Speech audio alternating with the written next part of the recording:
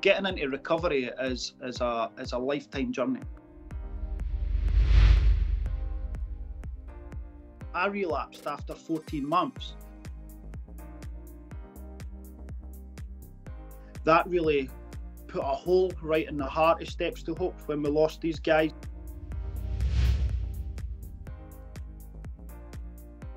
What does £50,000 bring to Steps to Hope? Steps to Hope saved my life.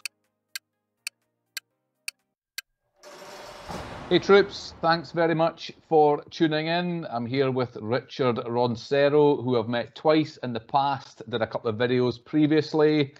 Uh, Richard, quite a lot of things have happened since we last spoke. We've had something called COVID, obviously. Uh, you've got some government funding. You've now got three properties on the go. Uh, you've got a van. You've got a mobile kitchen. You've got served thousands of meals. You've got thousands of days clean and sober. Thousands of pounds raised. You've got Super Saturday. You've got happy stories. You, will no doubt have some sad stories. I know of a couple of them. Bit of comic relief. Uh, many steps to hope tattoos and some other stories, no doubt. Richie Roncero, it's a pleasure to meet you once again. Good to see you, Ross. How are things? Let's kick off with, I suppose, let's kick off with COVID. How has that affected Steps to Hope and your whole operation? Aye, it was, uh, do you know, it just happened overnight for us. Um, I've spoke about it many times. Do you know, I think the last time we spoke, we were running a Sunday and a Monday soup kitchen. Um, That's right. And it just so happens we were campaigning for a, a mobile catering van so that we could, you know, reach more people on the streets. So we had purchased that van and it was uh, and getting modified at the time. And then COVID hit.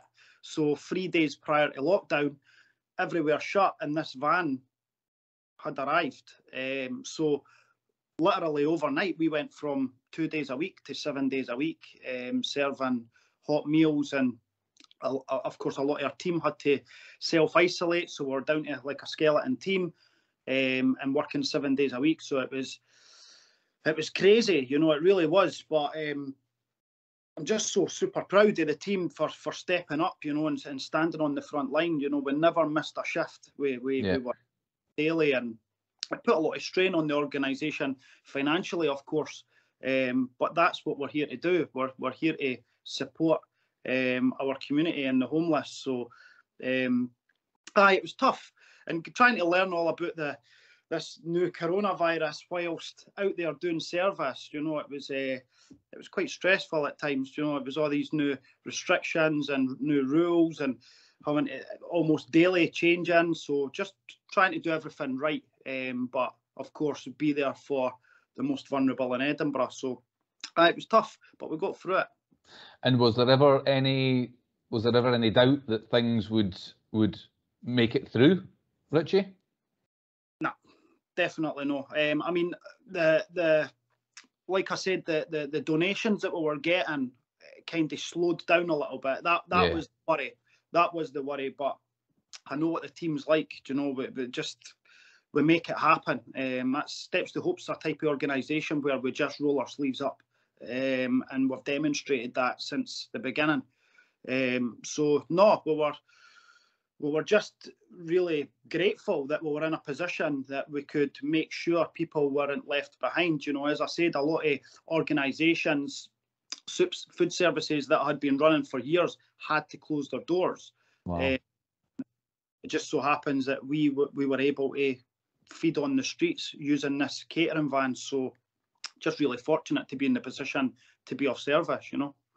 And I suppose, you know, they say in in business, you know, it's it, you can be lucky and it's all about timing. And I suppose in in your sector, it's it's no different. You were a bit lucky. You just took receipt of the van, and mm-hmm. timing COVID just hit, so you were just within a few days bang bang on. You know that that that's pure some would say luck some would say it's it's fortuitous but you know it happened and it happened at the right time for you but you already had that in motion uh, so i guess the question is is had you foreseen anything coming when you know when i start started first hearing about COVID coronavirus coming from, you know, China, for example, you know, I just sort of shrugged it off as it's just some news coming from somewhere else, not not thinking that this this is what was coming.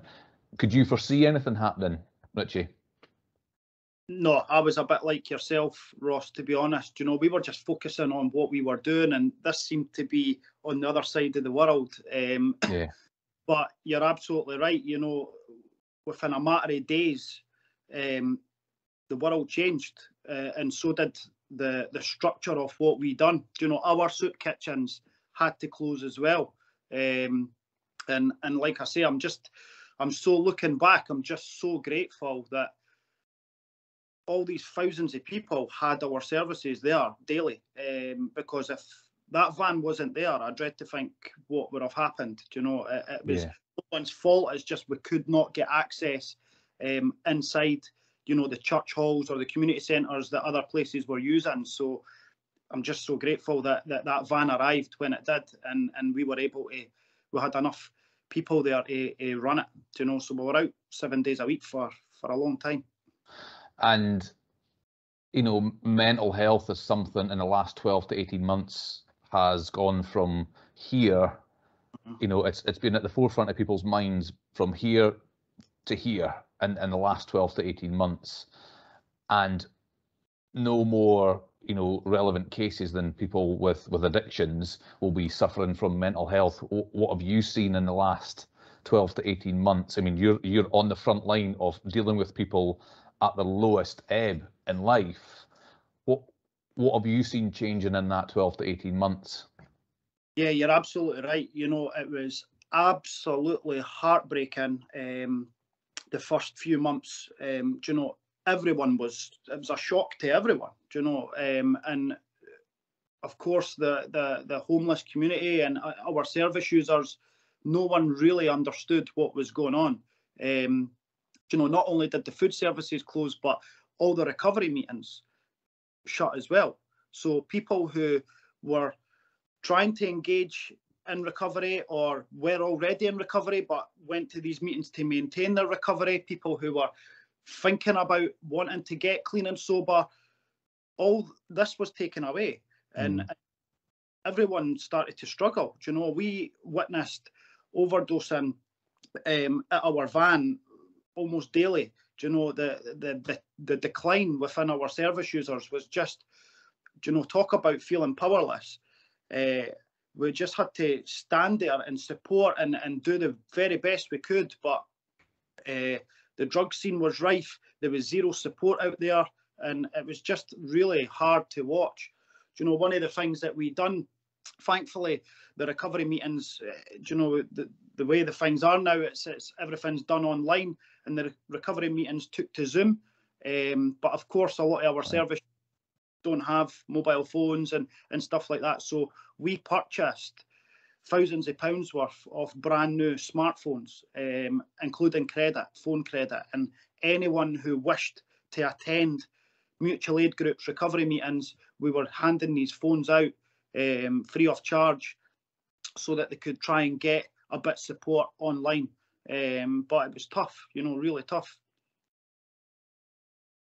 And you know, was that sort of thing frowned on by by anyone from the outside looking in, saying, okay, well, you're giving a drug drug addict or an alcohol addict, you know, a, a brand new smartphone.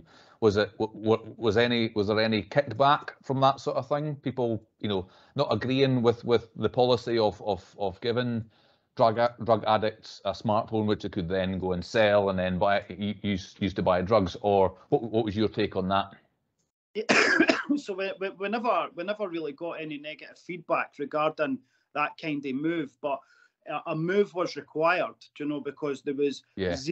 Or even other organisations that used to do face-to-face support, of course, everyone was now on lockdown. Do You know, we were classed as an essential service. We got that from the government, so we were allowed to be out there on the streets, on the front line, and, and we had to do something.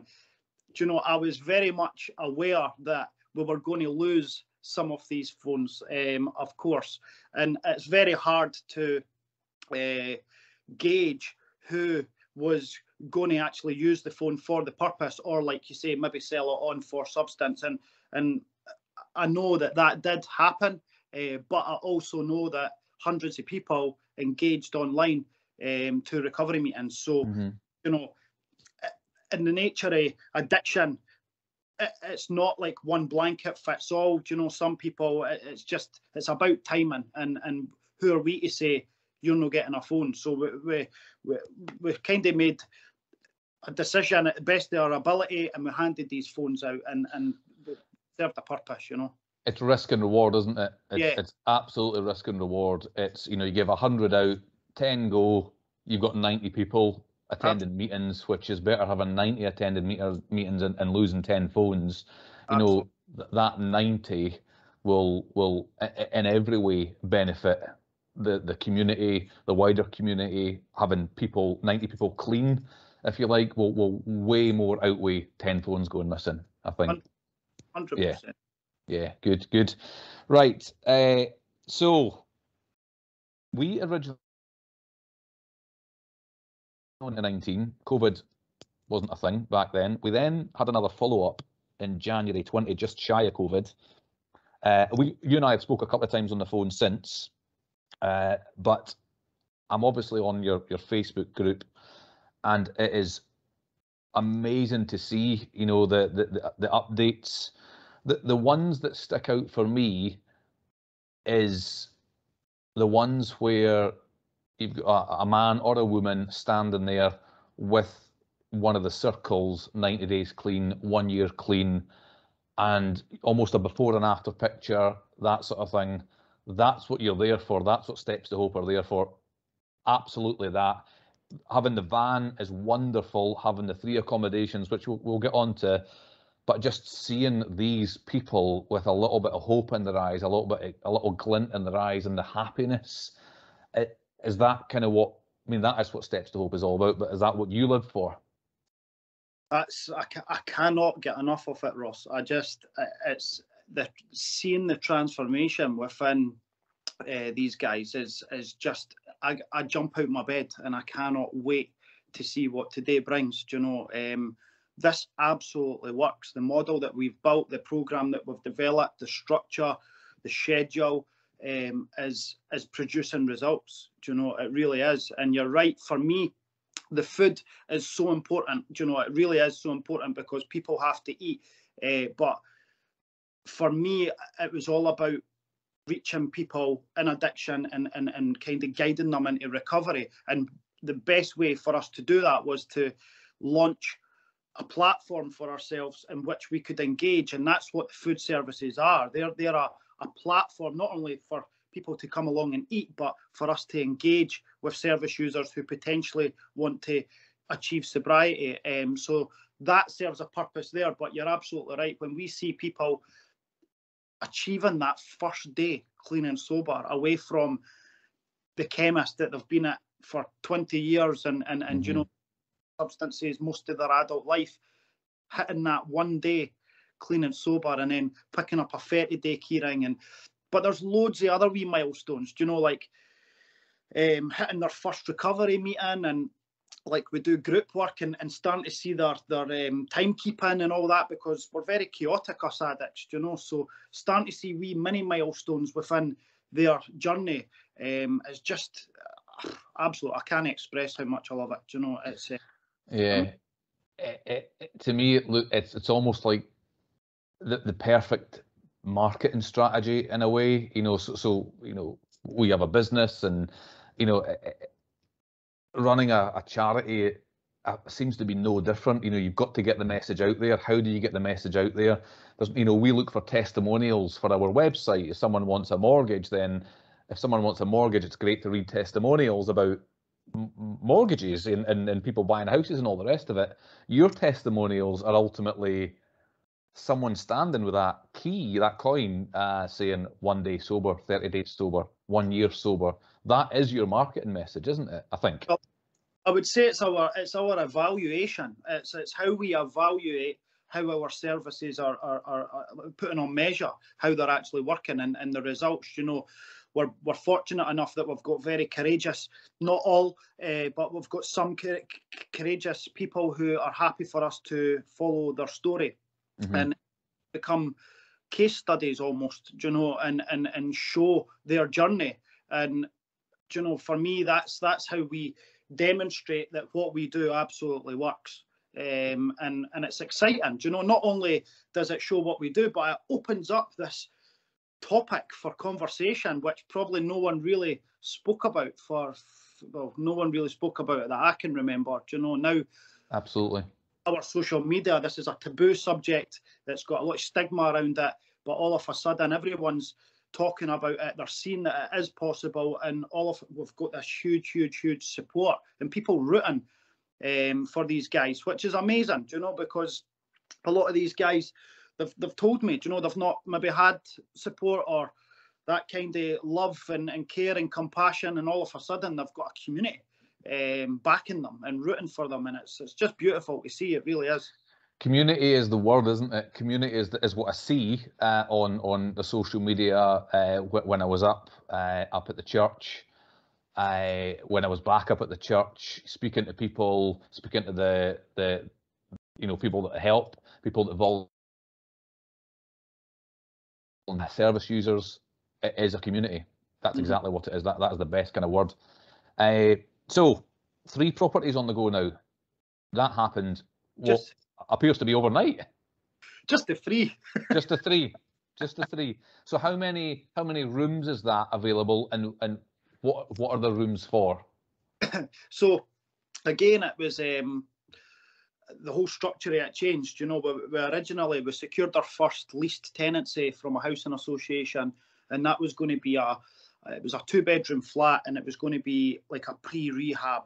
So people who wanted to be referred to rehab, they would move in there, um, achieve the dose on their prescription, so they could get a referral in, and then we would refer them and hopefully get a placement. Obviously, COVID um, hit, and that rehab actually had to close as well, um, which then meant there was a huge, huge waiting list. I think at one point there were there was like an 18 month waiting list to get in there. Um, so we had to kind of rethink our approach. Um, so the pre-rehab flat kind of that title got taken off, um, and it just became a recovery accommodation. So we acquired the second uh, leased property, another two bedroom property, um, and then we got a five bedroom property, which we had for a few months. And then we recently just gave that up and took on a nine bedroom. So we've got two two bedrooms and a nine bedroom, and these are all recovery accommodations. Wow. Um, so exciting. Um, so so yeah, so that's these guys are all working from eight in the morning right through the day till night time on a full schedule. Um, Steps to Hope cover the cost of the rent, the utility, all that type of stuff. All they need to do is follow this daily schedule, um, and and that consists of all various different things. They're busy. They're really busy.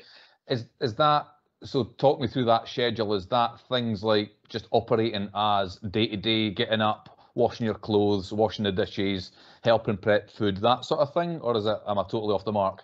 Oh, it's recovery focused. So so right. uh, obviously like helping keeping the, the premises clean and tidy. Do you know we've got like a hoovering schedule, so a couple of couple of them each day I'll do the hoovering. Then like we'll go for a walk in the morning. Then we'll have group work at 10, 10 o'clock, say. Um, we've then got one-to-ones. We've got recovery meetings, yoga, meditation, cooking classes, activities, fitness, we have people come and do massages. Um, there's loads. There's loads. There's written work, and it's all focusing on addiction and recovery. So we're so we're we're, we're kind of teaching the 12 steps within this program. It's mm-hmm. all step focused.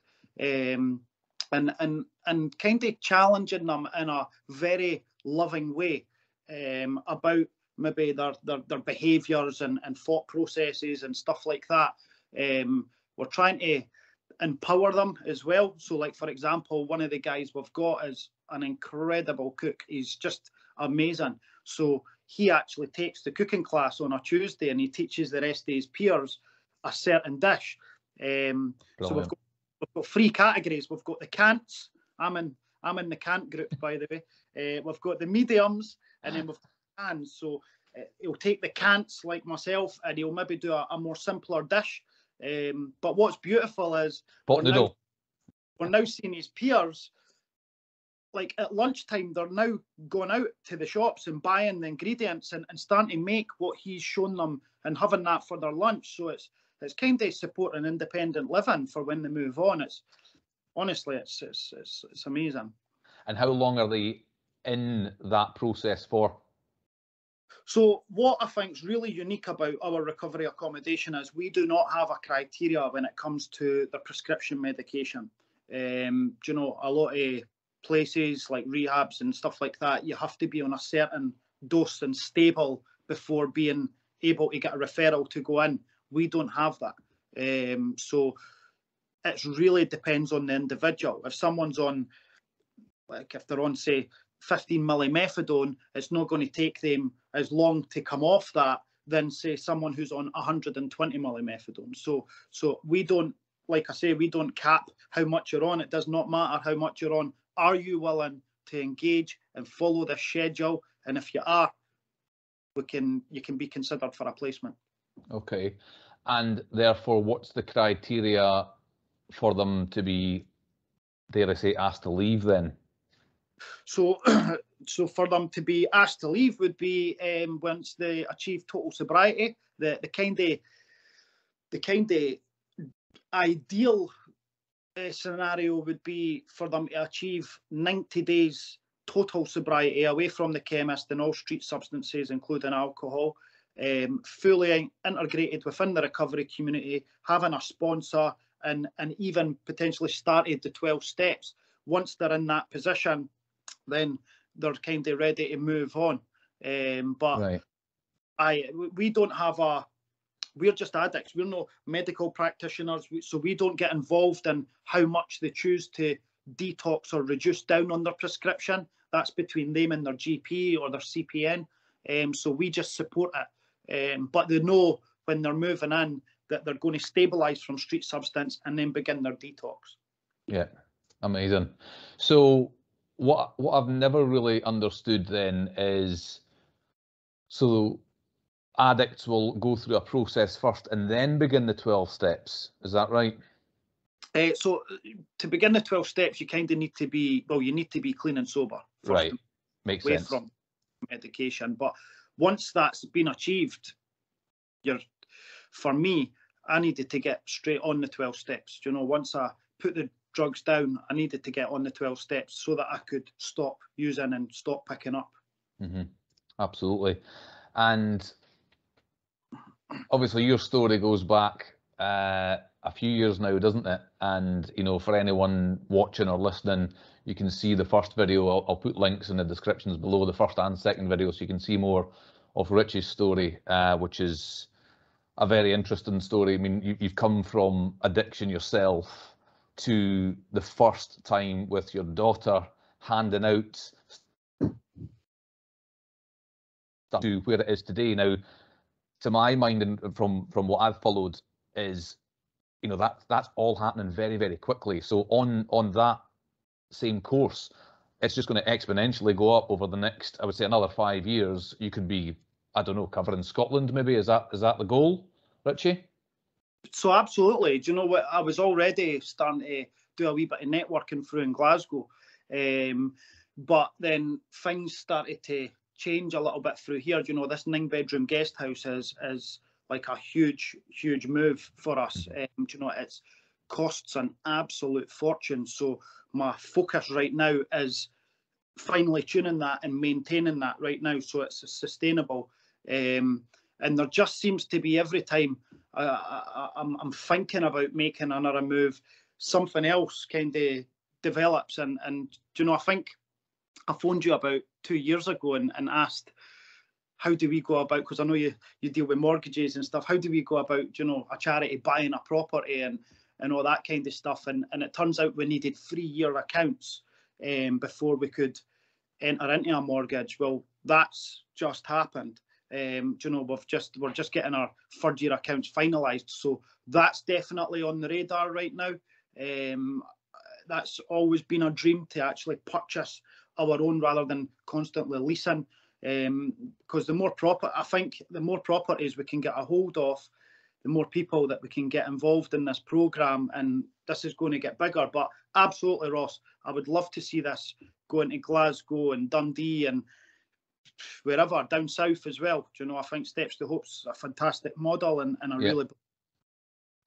I think what you know, with the success that you've had so far, and undoubtedly the success that you'll have in the future, what that will bring to the wider economy even is so significant. You got and getting people back into work and and off the streets and all the rest of it. And I'm assuming, I suppose, in the beginning, your idea was helping people get off the streets.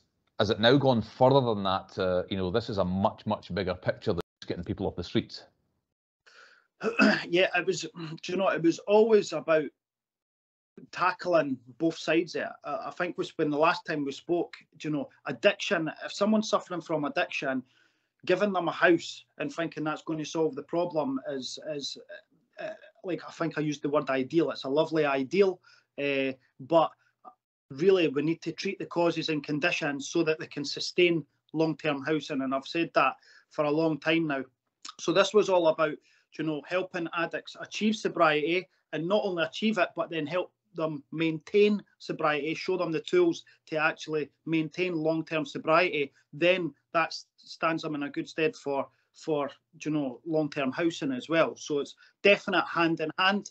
Um, but yeah, I, I, think steps to hope with the right backing and and and and the the more we grow, I think we could seriously make a huge impact on not only the drug death rate in Scotland, uh, but the homelessness as well. Yeah. So talking about backing then, uh, leading straight onto that, in terms of funding, now, uh, I remember the Skipton Building Society, uh, when we applied to Skipton for you, you got a thousand pounds, and then they, a while after that, they, they, they released another thousand pounds. So, all the charities, I think they picked up maybe 10 charities, you guys were one of them, uh, and then they gave you another thousand pounds and that that's wonderful. Now you talk about backing, but you know, just even yesterday, seeing your social media stuff yesterday. So the Scottish government, fifty k, is that right? I seen you a giant jumbo check yesterday.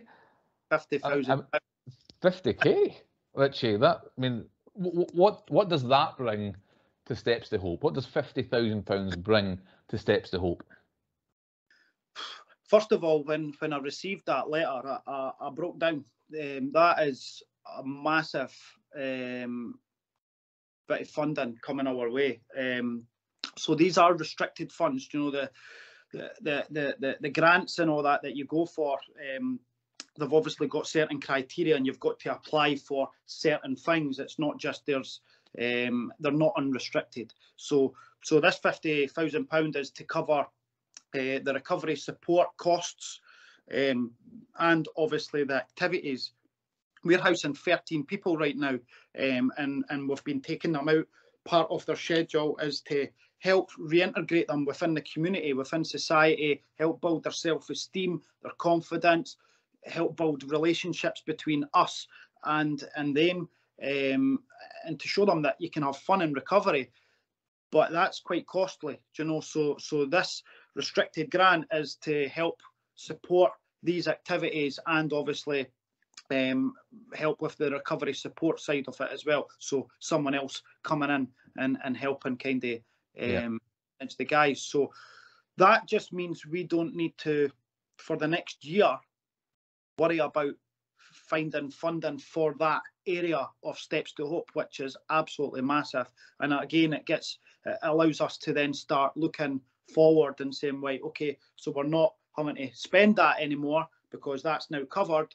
So weight off the shoulders, isn't it? It's a big weight off the shoulders Absolutely. from a, from a cash flow point of view. So talking about fun in recovery, uh, steps to hope tattoos. so I'm I'm not encouraging this.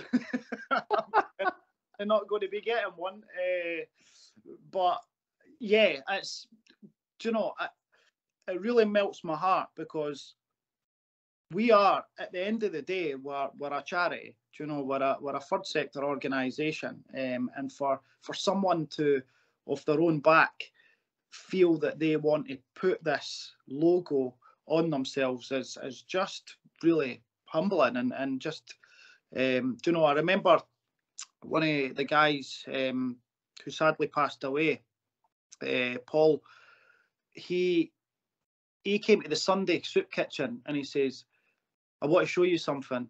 And I said, What? And he pulled his sleeve up and I went, Paul, what have you done? That was my words. I says, What have you done? I says, Why would you do that? And he says, uh, Steps to Hope saved my life. Mm-hmm. And and do you know, I get it. I get I get it. I, I if I could describe Steps to Hope, I would describe it as a feeling. That's how it mm-hmm. feels. You know, Steps to Hope, the charity is is like a feeling. Um, and there's a lot of it's a very family loving, passionate uh, group that's involved in it. So, uh, although I'm not uh, encouraging anyone to go and get a tattoo, and certainly not the Steps to Hope tattoo, it is very humbling that someone would choose to get that on themselves. It's a very intimate act, isn't it? Getting a getting a tattoo, you get your daughter's name tattooed, or your wife's name, or your even your your most favourite band ever tattooed on your arm, something you're going to keep for life. So, so for I've seen a couple of guys uh, getting the steps to hope tattoos. So for them to be getting those tattoos, it just shows you what it means to them, which is that's their life. You know, they, they, their life has potentially been saved through steps to hope, which is which is quite amazing. Now you mentioned uh, Paul there, which is obviously it was a very very sad story, and Ali as well. Yeah. I know you know there's there's there's obviously some uh, thousands of good stories, but I suppose it comes with the territory that there's some sad stories as well. Can you tell us anything about that?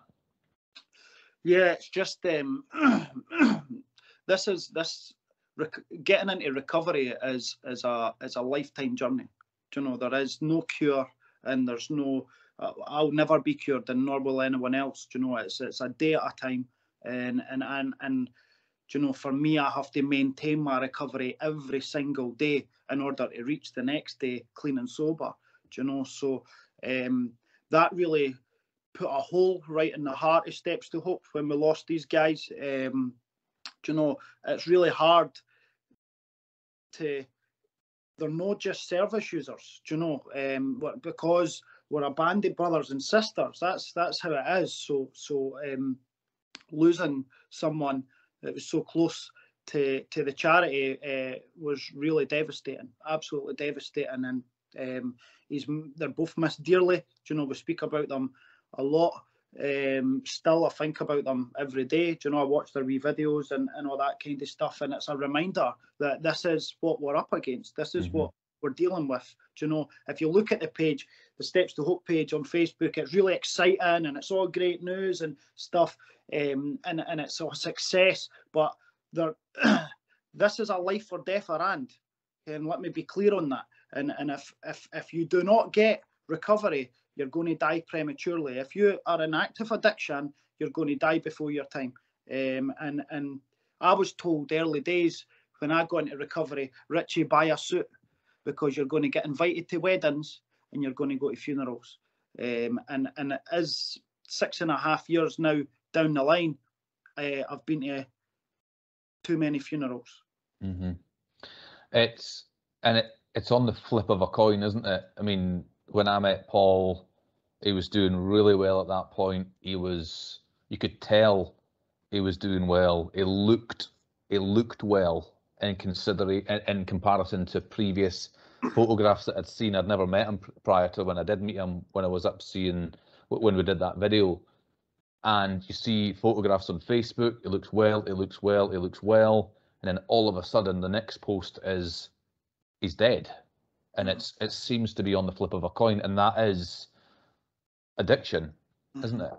Yeah, absolutely. And and you know, I was told that uh, you know addiction is an illness. Um, it really is, and and and I think without speaking about anyone's specific journey, you know, like I'll keep it to myself. I, I relapsed after 14 months um, and went back out the door. And the relapse happens before the actual physical relapse itself. Do you know, it's it's stinking thinking coming in. Happens up here.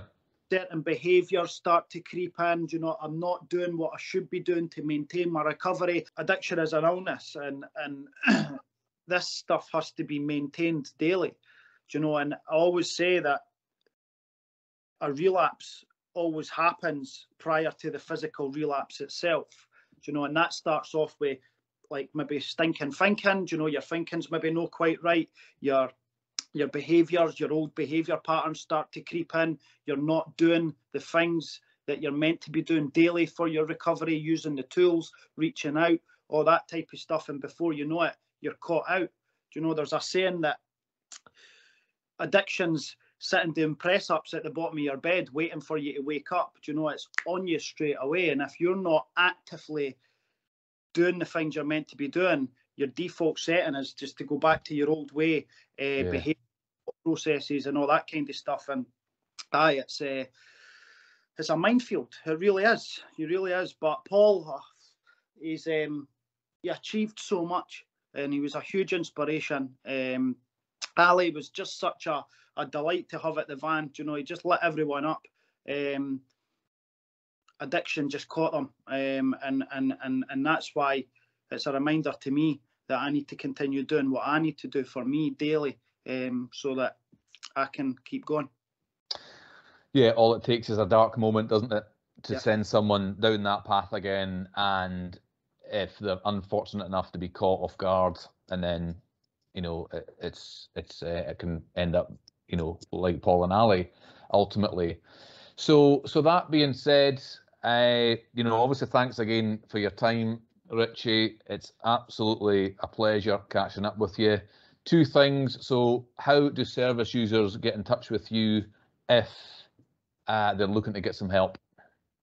Yep. So it's it's just self referral, or if they want to get one of their support workers or that to send us an email or phone, but if they want to pick up the phone, drop us a message on social media, come along to the van, any one of them, um, all they need to do is indicate that they're wanting um, to engage with us, and then we can start putting things in place to potentially getting them offered a placement into our recovery accommodation.